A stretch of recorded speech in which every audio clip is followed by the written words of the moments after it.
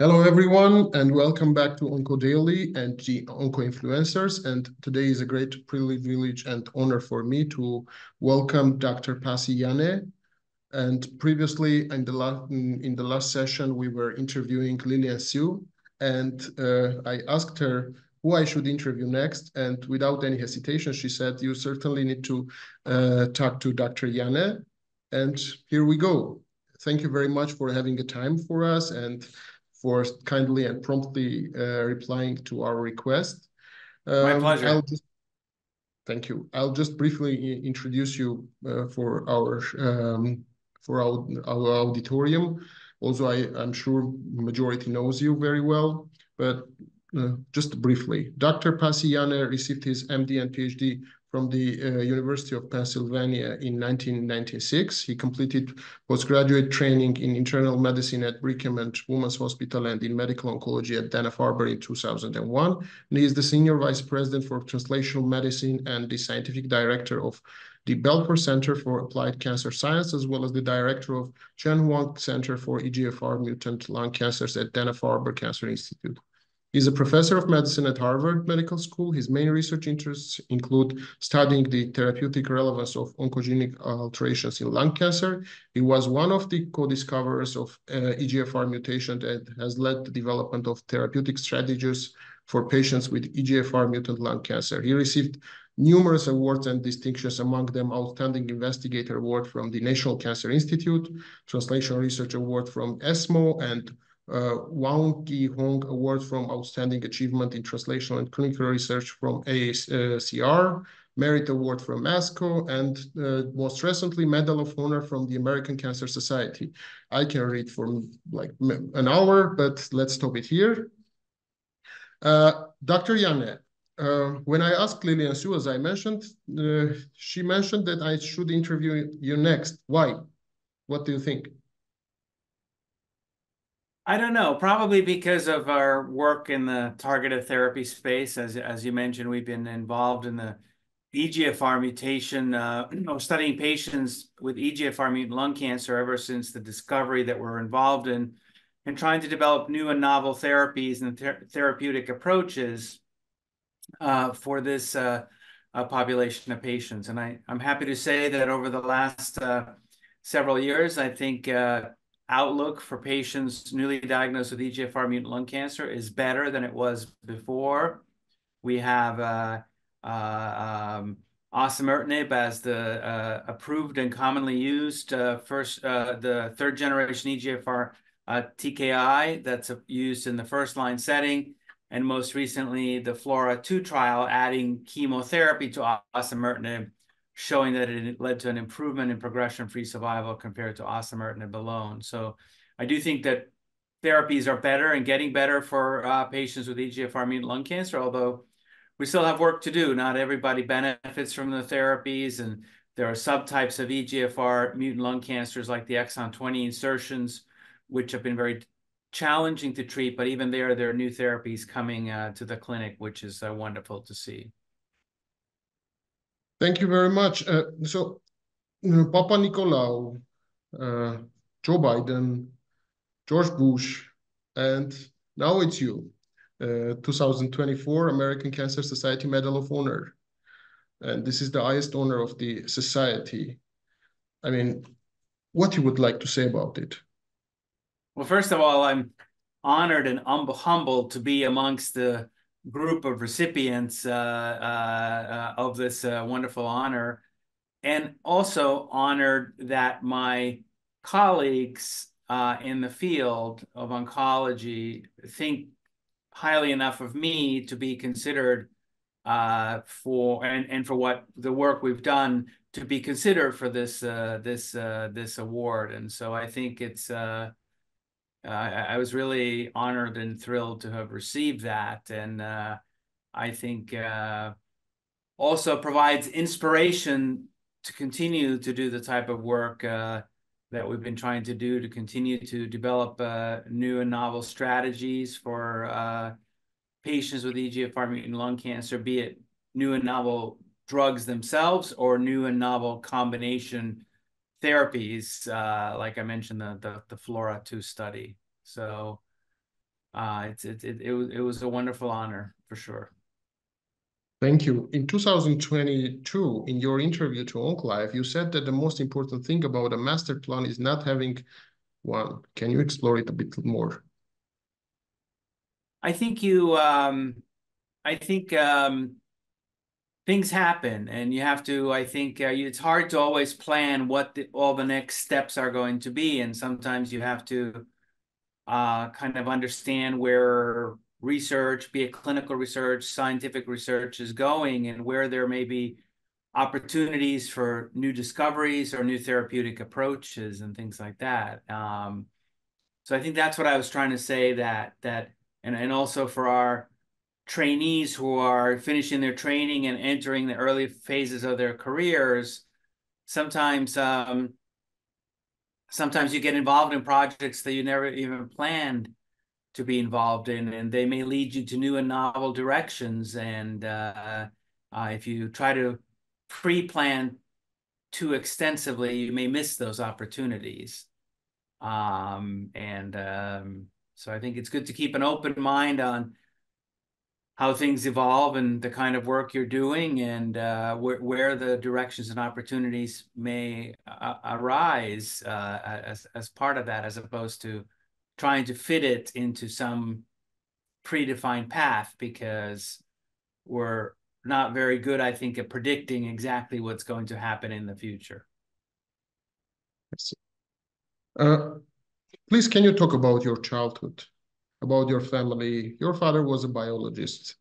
Uh, what yes. was the main, yeah. most so I, I'm I'm I'm from uh, Finland originally, and I grew up in Finland until I was 12 and then moved to uh, the US and grew up in New York City and went to high school in New York City and have been on the East Coast of the United States uh, since then. I went to college north of New York City at Vassar College and then did my MD PhD at University of Pennsylvania in Philadelphia and have lived in Boston now where I uh, came to initially do my internal medicine training, but then oncology training have lived here for now 25 years or so. And so uh, I enjoy the environment here where I'm, I'm working. I'm fortunate to be able to run a research laboratory and also be able to take care of lung cancer patients and then and run, uh, conduct and enroll patients into therapeutic uh, and translational clinical trials. And we try to address questions in the laboratory that we feel are clinically relevant and clinically important, and then try to ask if those are relevant, if, if those strategies are potentially relevant by conducting clinical trials and and and also learn from the clinical trials why they can be successful and why they may why new therapies or new therapeutic approaches uh, sometimes are not successful. Is it a toxicity issue? Is it a lack of efficacy issue? Is it a combination of both? And then use that as a way to refine uh, treatment strategies. So, uh, are, are you keeping still contact with Finland? Yes, my parents live in Finland, and uh, I do, uh, and, and I have other family members that live in Finland. I do go to Finland a few times a year. So nice. Uh, what about New York? I, I mean, you studied there. You started U.S. like from the New York What's the most significant there? What you like about New York? I, I am a big city person. I like big cities, and New York, uh, you know, is uh, alive 24 hours a day. So I like that about New York. You can, you know, it's uh, there's lots of things to do, a variety of things from cultural things to restaurants to other things. It's a it's a wonderful place, and it's it's alive. And uh, I like that about big cities. Boston isn't quite there yet, although I do like living in Boston. Uh, but uh, uh, but I, I I enjoyed growing up in New York City, and I enjoy visiting New York City every every every chance I get. Uh, I mean, if someone wants to visit New York, like top three things they should explore it or they should do. What's your recipe? Uh, going see things like Times Square and Rockefeller Center, Metropolitan Museum of Art for sure. It's fantastic. And um, finding a wonderful restaurant to eat. So I think New York pizza. Uh, pizza, pizza's good too. New York pizza's good, but there's many other good, uh, good uh, food opportunities there as well. So Which one is the most the best one you would recommend? What's your favorite? I, I don't know. It depends on what your taste is. You know, I think the good For thing New York is pizza. I don't know that I have a favorite pizza place. It's been a while since I had pizza in New York, but uh, uh, I think the good thing about New York is that there is um, doesn't matter what your background or interest is, there is usually something that fits that, just because of the diverse and vast nature of the city. So you started at Vassar College, right? Yes. I mean, and it's known for like many celebrities there, like famous people. What impact it had on you? Well, Vassar is a liberal arts school, so I was a little bit of a outcast studying chemistry in a liberal arts college, but uh, I enjoyed the experience there in the sciences and also got exposed to things like art history, which uh, the school is much more known for.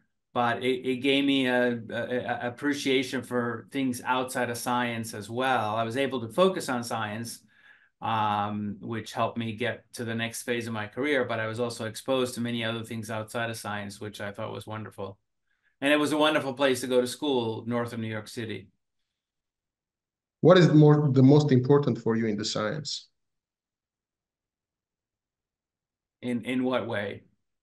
I mean, for a scientist or just in the science, what's the most important for you? I, I think for a science, I think for a scientist, um, you know, we try to, I think we try to find the truth to some degree is what science is about. And hopefully that ultimately has impact. And so as a scientist, being able to make impact into medicine, which I've fortunately been able to uh, do that uh, uh, in my career is, is, is, is truly a wonderful experience to see that something that you've been involved, involved in scientifically actually helps or has an impact in a in a human being that's suffering from cancer and in, in, in, my uh, in my specific situation, I think is a wonderful, uh, wonderfully gratifying uh, uh, uh thing to have experienced. Uh, why lung cancer and why oncology in general, and why lung cancer specifically? So oncology, I, I, as you mentioned, I trained in medicine and in science, and I have a PhD in genetics, and I wanted to find a career after medical school or a path, you know, that would be able to combine those to medicine and science, the genetics background. And I thought that that would be probably better achieved in hematology and oncology than, for example, neurology or cardiology, at least at the time when I was finishing my training. Things may be different now.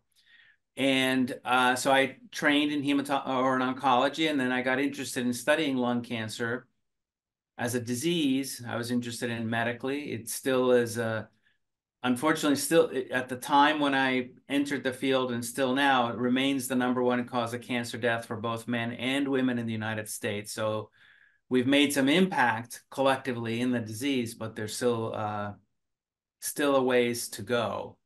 And um, and uh, uh, when I was deciding about uh, what I wanted to do, I was I was interested in the disease. I was interested in the sort of multidisciplinary nature uh, of the of the disease, and I also found a very good mentor, uh, Bruce Johnson, to work with, which was an important piece for somebody early on in their career to have a mentor who would guide him or her, and uh, and, and and and and Bruce did that for me. So all of those things kind of came together, and then I've stayed in that space ever since. Uh, can you explore more about your mentors and the role of mentorship in your opinion in uh, in medicine and in oncology well, think, particularly? I, I think mentorship is important. Mentors help guide you in your specific projects. They uh, help guide you in uh, uh, you know uh, in uh, things like grant applications, manuscripts, etc and and they also help make connections for you and open doors for you and introduce you to people in the field or in my case and and also or introduce you to um, uh, specific companies that may be working on new drugs that you may be interested in studying uh, preclinically or clinically. And so I think they really uh, provide important career guidance. And um, I still have mentors. I still go to my mentors and ask them uh, um, questions and advice and things like that. So I think uh, it's really a lifelong process, and I'm uh, happy to have been able to be on the giving end of that and being able to mentor uh, uh, young uh, oncologists and scientists as well. So it's a it's really a, it's really a critical component of uh, of career development. You can't do you can't do this all on your own. You need you need you need mentors and people who can help with help guide you and uh, direct you. Uh, thank you. Um, talking about mentees, for example, I, am sure a lot of young professionals are going to watch this interview. And what would be your advice if someone wants to be your mentee? What they should do?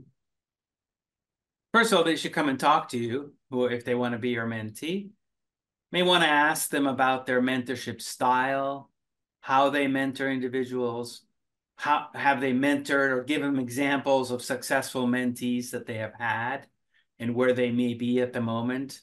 Uh, for example, if you're interested in academic, staying in academic medicine, you can ask your prospective mentor how many mentees that they have had that have stayed in academic medicine or where are they now?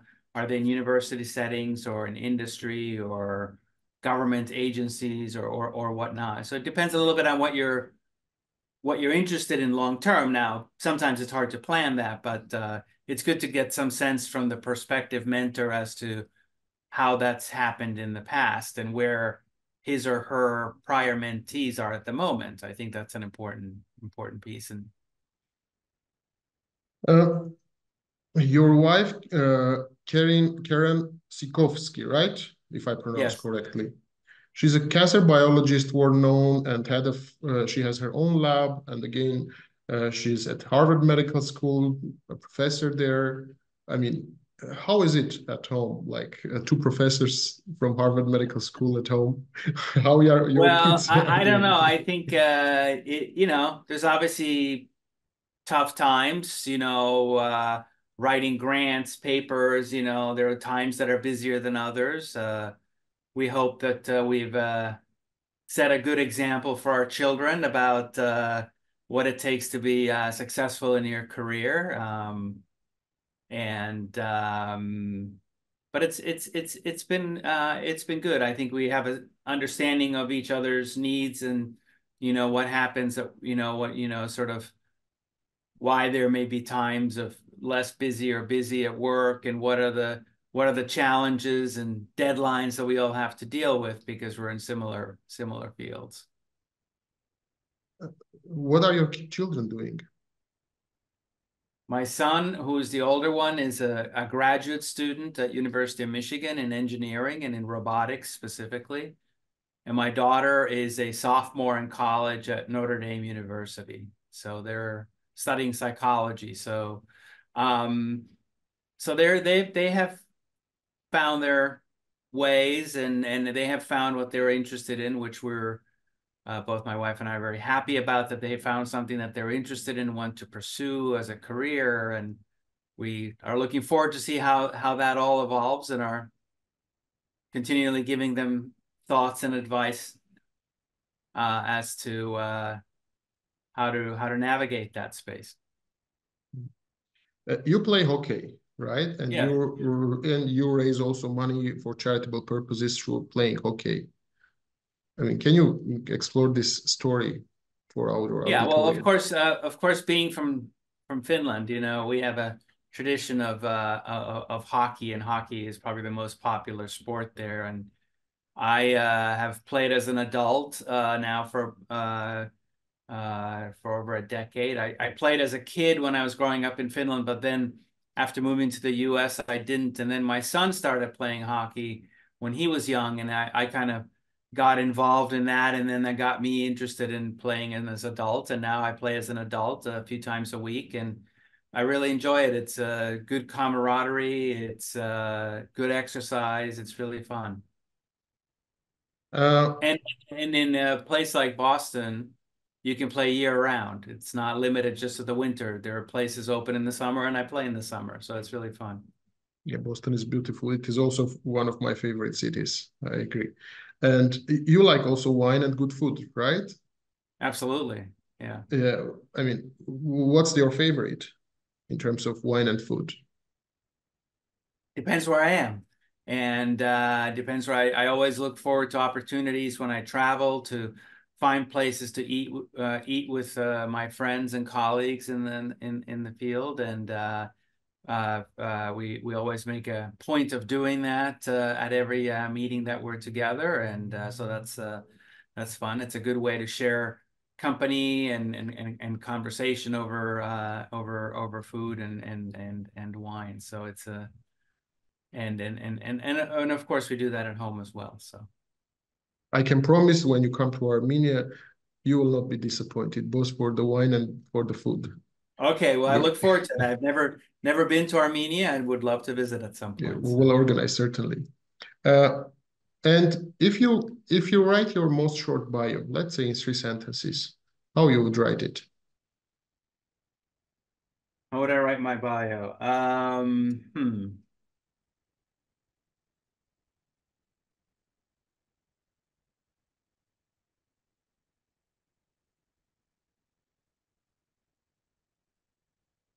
I guess uh, it's a translational medical oncologist. Uh, is a translational medical oncologist focused on improving uh, the lives and outcomes of patients with lung cancer. Wonderful. Uh, in your opinion, what's the future of oncology?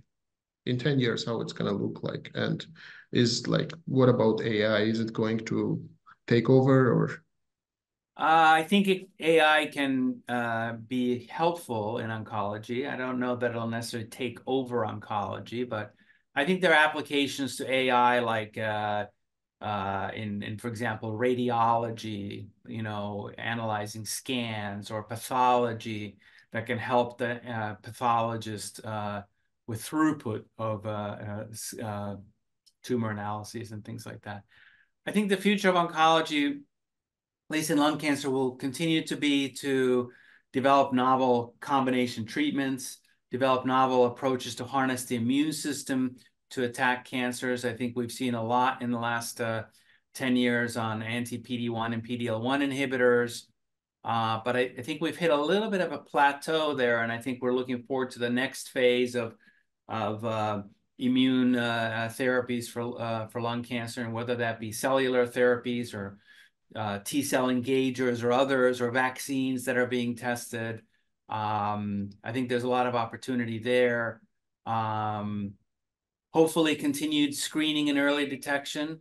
Um, uh, unfortunately, in, in the US and, and many parts of the world, for patients who only the very minority of individuals who are actually eligible eligible to be screened for lung cancer undergo screening. In the US, it's about 5%. So there's opportunity to increase that if you can find lung cancers at an earlier stage, and same is true for other cancers, their likelihood of curing them is greater. And that can be imaging based, and there's newer technologies evolving about looking at blood based uh, screening technologies uh, that are coming out and in, in development. And so hopefully in the future, it'll be a some sort of combination of uh, imaging-based screening and blood-based screening that will tell an individual if there are if they are at risk or there's a concern for a cancer, and that will help continue to help us find cancers at an earlier stage where they're more likely to be cured. Um, thank you. And um, the last question, what do you think? Who should we interview next?